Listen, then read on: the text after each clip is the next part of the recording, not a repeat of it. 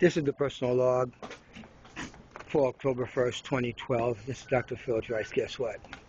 Now, I know I, I, I, I need to apologize to the YouTube community and everybody else about how absolutely just heinous that I've been. Come on now. Hey, how you doing?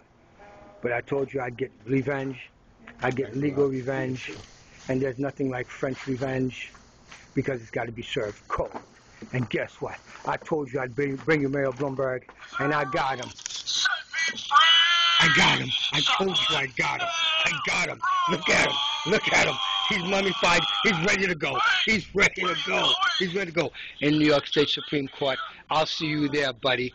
Happy Halloween. Bye-bye.